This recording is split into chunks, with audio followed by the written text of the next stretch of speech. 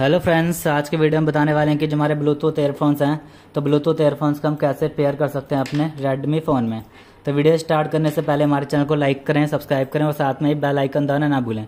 तो video start कर लेते हैं। तो आप देख सकते हैं कि जो हमारे फ़ोन के आइकन्स हैं, हमारे फ़ोन में इस प्रकार से शोर हैं देख सकते हैं आप? तो हमारे फ़ोन में इस प्रकार से शोर हैं तो आपको स्वाइप करना है। स्वाइप करते जो हमारे फ़ोन के ऑल आइकन्स इस तरीके से ओपन होते हैं। इसमें से आपको क्लिक कर देना है सेटिंग्स आइकन पे। तो क्लिक करते हमारी फ़ोन की सेटिंग से ओपन हो चुकी है। देख सकते हैं आप? ओपन हो गई है। तो इसमें जो हमारा ऑप्शन आता है ब्लूटूथ ऑप्शन तो हमें इस पर क्लिक कर देना है। क्लिक करते जो हमारी ब्लूटूथ ऑप्शन की सेटिंग से ओपन हो गई है तो जो हमारे ये ब्लूटूथ एयरफोन्स हैं, इसके यहाँ से हम ऑन कर लेंगे। जिसके बटन दे रखा है यहाँ पर तो हमें प्रेस करना है। प्रेस करते ये ऑन हो जाएगा, इसका लाइट जल चुकी है। तो इसके नेटवर्क से हमारे फ़ोन में थोड़ी देर में शो हो जाएँगे तो हम इसको यहाँ से पेयर कर देंगे। तो हम जैसे रिफ्रेश कर लेते हैं। रिफ्रेश करते ये नेटवर्क आ चुके हैं U one C L twenty के नाम से। तो आपसे क्लिक कर देना है। क्लिक करते हैं, हमारे पास ऑप्शन आएगा पेयर का ऑप्शन यहाँ पर। हम इसको पेयर कर देंगे। पेयर करते ही हमारे फ़ोन में पेयर हो चुके हैं तो आप इसका यूज़ कर सकते हैं।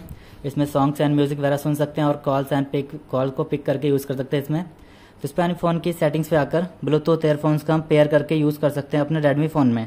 तो आपको वीडियो अच्छी लगी तो लाइक करें सब्सक्राइब करें साथ में बेल आइकन दबाना ना भूलें। और थैंक यू